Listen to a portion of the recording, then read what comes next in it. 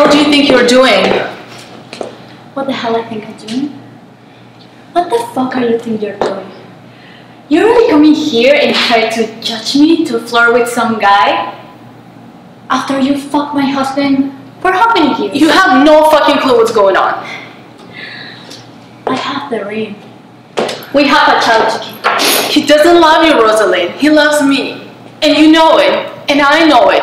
And he knows it. And it might be done now, but it was real. And it was beautiful. Shut up. We loved each other. Stop. He's scared of you.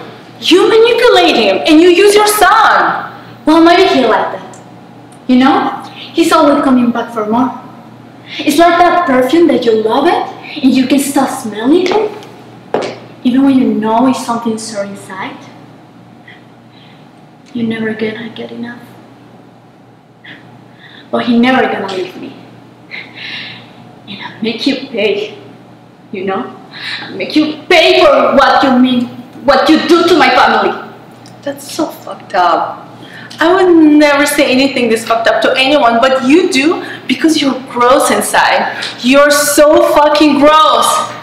I'm gross inside. Yeah. Maybe you're gross inside with growing people and all that shit that you do? maybe we're both are gross inside. At least he's consistent with that. You know, sometimes in your life, all just fuck it up. Personal choices.